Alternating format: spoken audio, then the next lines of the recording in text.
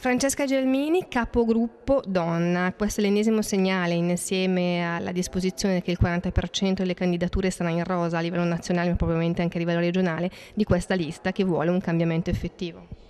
Sì, eh, indubbiamente consentire alle donne eh, di mettere finalmente, oltre che il proprio volto, anche il proprio cervello e la propria parola in ambito pubblico-politico è sicuramente un'occasione preziosa eh, per la Lombardia e per tutto il Paese, che eh, indubbiamente richiedono un cambiamento cruciale e sicuramente le donne, non in quanto tali, ma portatrici di una nuova freschezza, di un nuovo pensiero, di nuove attenzioni e anche di nuove competenze eh, possono eh, fare la differenza. Tu vieni da un mondo che è quello delle ACLI, questa è una lista che dietro ha il centro-sinistra. Come trovi conciliabili queste due posizioni che su certi temi sono sicuramente distanti? Allora, indubbiamente eh, non posso negare la mia appartenenza alle ACLI in quanto sono eh, consigliere a secondo mandato, ma devo dire che eh, da oggi, cioè il giorno di presentazione della candidatura, eh, rassegnerò le mie dimissioni in quanto il nostro statuto prevede una incompatibilità anche solo per chi si candida.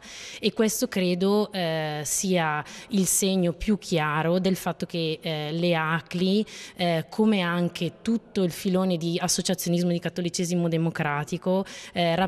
rappresentano un'apertura all'inclusività eh, dei posizionamenti più diversi anche in campo politico ed ideologico. Ritengo che queste appartenenze siano un valore aggiunto in quanto essendomi eh, sempre sperimentata in ambito associazionismo dell'associazionismo, non solo ACLI ma anche eh, del CAE legato alla montagna o ad altri mondi, eh, eh, grazie a questa esperienza ho potuto sperimentare l'interlocuzione con i mondi più lontani e, eh, e quindi sperimentare quella, eh, quello stare sul confine che consente di aprire un dialogo con tutti eh, e questo con l'obiettivo davvero politicamente di costruire una regione che sia inclusiva di tutti nel rispetto della dignità di ciascuno e delle scelte personali di ciascuno, sia attinenti alla vita personale ma anche attinenti ovviamente alla vita pubblica e alla gestione della cosa pubblica.